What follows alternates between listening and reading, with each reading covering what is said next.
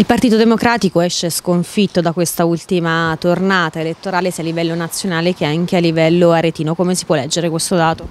È un dato purtroppo negativo, un trend nazionale molto forte che si ripercuote anche su questo territorio. Eh, è stata una sfida difficile, allo stesso tempo anche entusiasmante di confronto con la provincia d'Arezzo, ma ahimè il risultato in questo momento ci penalizza. Ecco, non è stato riconfermato insomma, nemmeno il secondo mandato di Marco Donati. Sì, purtroppo sì, ma questa non è la conseguenza più importante, c'è in questo momento da ricostruire un tessuto politico, soprattutto anche ringraziare i tanti che si sono adoperati in questa campagna elettorale e quindi credo che ci sia comunque da dare molta attenzione. In questi anni erano arrivate risposte significative, penso al finanziamento della Due Mari e di altre infrastrutture, eh, interventi importanti, mi auguro insomma, che vengano difesi anche da coloro che siederanno in Parlamento dopo di me. Ecco, il Partito Democratico non sarà rappresentato da alcun aretino in Parlamento?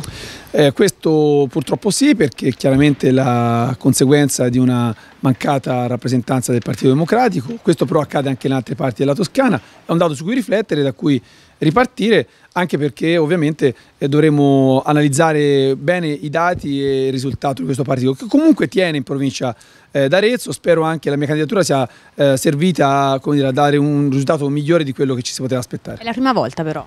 Sì, assolutamente sì, è un fatto comunque storico, eh, credo che in particolare eh, sia stato un dato legato alla crescita della Lega in maniera esponenziale, eh, forse questo non se lo aspettavano neanche i candidati del centrodestra che oggi vengono eletti proprio grazie ai voti della Lega. Però eh, ci sarà tempo e modo per analizzare, l'importante è eh, fare in modo che questa terra, Arezzo, abbia comunque le risposte che merita. Ecco, qual è stato il peso di Matteo Renzi insomma, in questo risultato?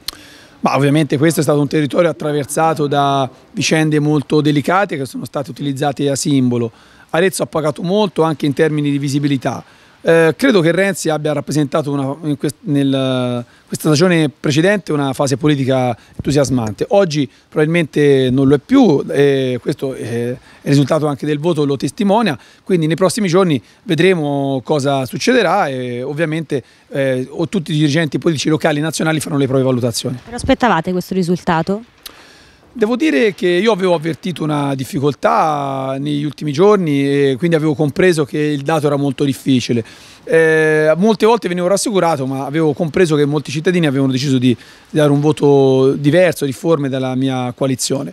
Ovviamente, eh, forse in queste proporzioni non così tanto e forse non se lo aspettavano neanche gli esponenti del centro-destra che hanno vinto questa competizione. Tanto è comunque che i cittadini quando esprimono il proprio voto e lo fanno, tra l'altro con queste percentuali, hanno sempre ragione, quindi il voto va sempre rispettato. Cosa ci sarà nel futuro di Marco Donati adesso?